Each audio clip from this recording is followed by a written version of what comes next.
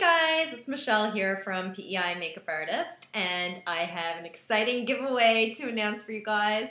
So TopBox is going to provide a January top box to one lucky person who is a follower of mine. And um, basically, the drill is the same. It's usually the same, always the same. Um, you just need to be a subscriber to my YouTube channel or you need to be a uh, follower on my Facebook page. And basically, how you enter into the contest is you just need to post down below from this video um,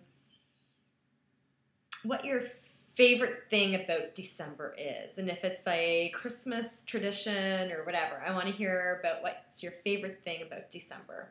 Um, and if you don't believe in Christmas or um, don't celebrate Christmas, that's fine. Just tell me what you like about December. That's all I want to hear about.